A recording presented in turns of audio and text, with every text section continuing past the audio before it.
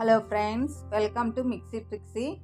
చిన్నప్పుడు మా స్కూల్ దగ్గర రేగిపండ్ల జామ్ అమ్మేవారు. చాలా రుచిగా ఉండేది. మళ్ళీ మళ్ళీ తినాలనిపించేది.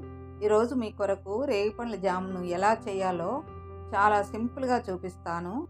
వీటిలో యాంటీ ఆక్సిడెంట్స్ ఎక్కువగా ఉండడం వలన వ్యాధి నిరోధక శక్తిని పెంచుతాయి. మొదట వీటిని బాగా కడిగి ఆరబెట్టి తర్వాత చేతితో ఇలా వలుచుకోవాలి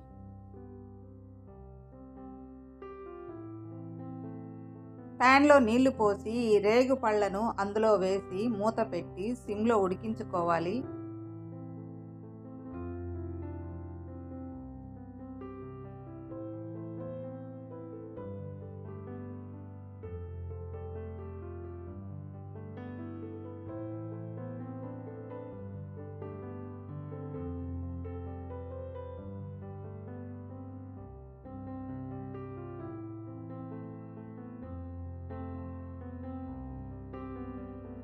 ఇవి కొద్దిగా ఉడికిన తర్వాత తగినంత బెల్లం కలుపుకొని నెమ్మదిగా గరిటెతో కలుపుతూ సిమ్ మీద పెట్టి జాగ్రత్తగా కలుపుకోవాలి.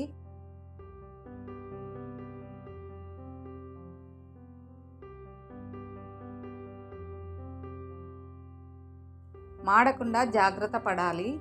తర్వాత ఇవి గట్టి పడినాక చివర్లో ఒక స్పూన్ నిమ్మరసం కలిపితే రేగిపండ్ల జామ్ రెడీ.